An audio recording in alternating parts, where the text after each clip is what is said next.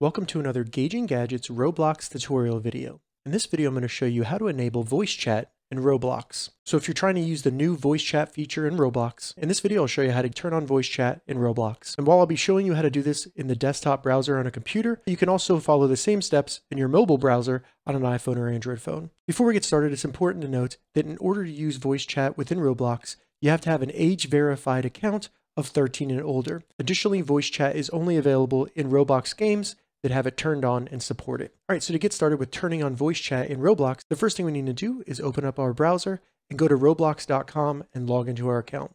Once you log in, go open to the top right of the browser and select the gear for the menu, and then in the menu, select settings. This will bring you to my settings on Roblox, and the first thing we want to look at here is under personal for your birthday.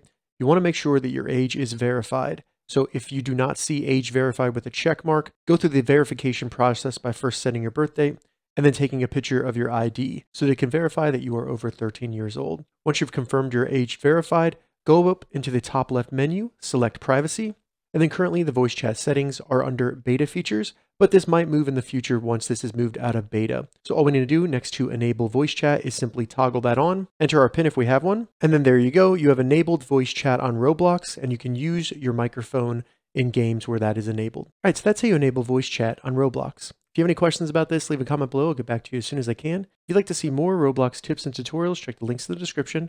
If this video helped you, give it a thumbs up, and please consider subscribing to my channel, Gauging Gadgets, for more gadget reviews and tech tutorials. Thank you so much for watching.